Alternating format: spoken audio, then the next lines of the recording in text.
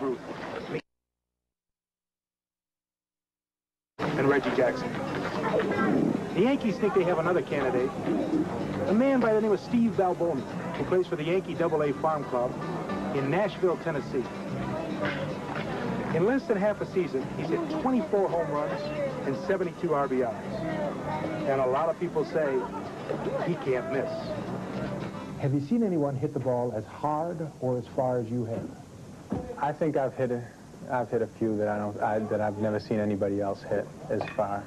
You know, I've seen guys hit some long, long home runs though. You know that that are better than most of mine. You know, but I think I've hit a few that I haven't seen anybody hit as far. You've been heralded as Bye Bye Balboni. Do you like that nickname?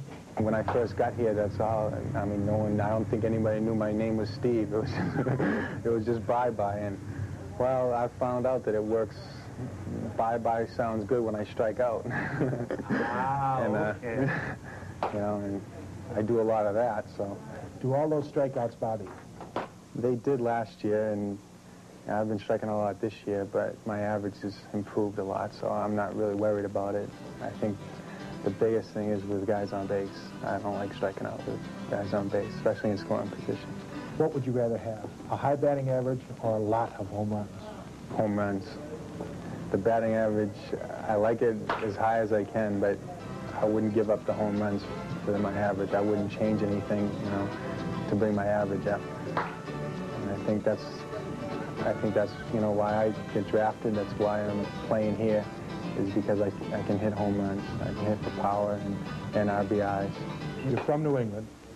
That's Red Sox country. How did you feel about the Yankees? Well, when I was growing up, I was I was a Red Sox fan, and I hated the Yankees. You know, but ever since I signed with them, you know, it's changed. Now, it- now I'm a Yankee fan and hate the Red Sox. Yankee Stadium was made for left-handers, and you're a right-hander. Are you going to have problems? well, uh, Yankee Stadium really, it's big, but it really uh, it doesn't really scare me. I think, you know, it's not the best place for a right-handed power hitter, but I, I don't think you play you play half your games there, half your games on the road, and I think I think if I if I hit the ball well, it'll go out of it'll go out of Yankee Stadium and go out of anywhere. What do you think about the big boss, George Steinbrenner?